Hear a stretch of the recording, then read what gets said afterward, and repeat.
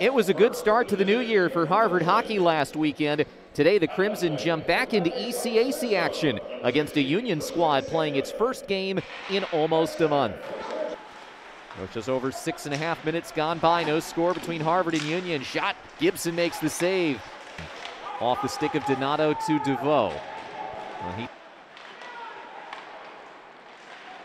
Chance between the circles, a shot and a score! Sean Farrell makes it 1 0 Crimson. At While Union on the penalty kill is 42nd in the country. There's a big shot taken by Abruzzese, and he will score.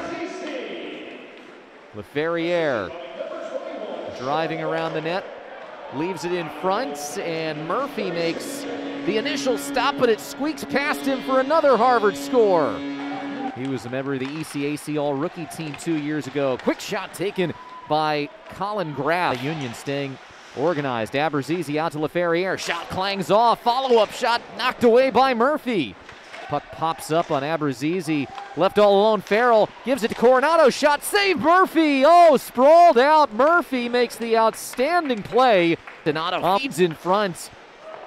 And DeVoe couldn't hammer it home. Power play ends. Now an opportunity out of the box and a score. It's Kosack exiting the box and entering the box score with a goal. Easy. From the hash marks, passes to Thrun. Shot saved by Murphy. Trolls up ahead Wong. Austin Wong leaves it back for Thrun. Top of the circle. Shot deflects in. Harvard scores and takes a three goal lead again. 4 1 the final here today as Union, they gritted it out, but ultimately did not have enough to make a dent.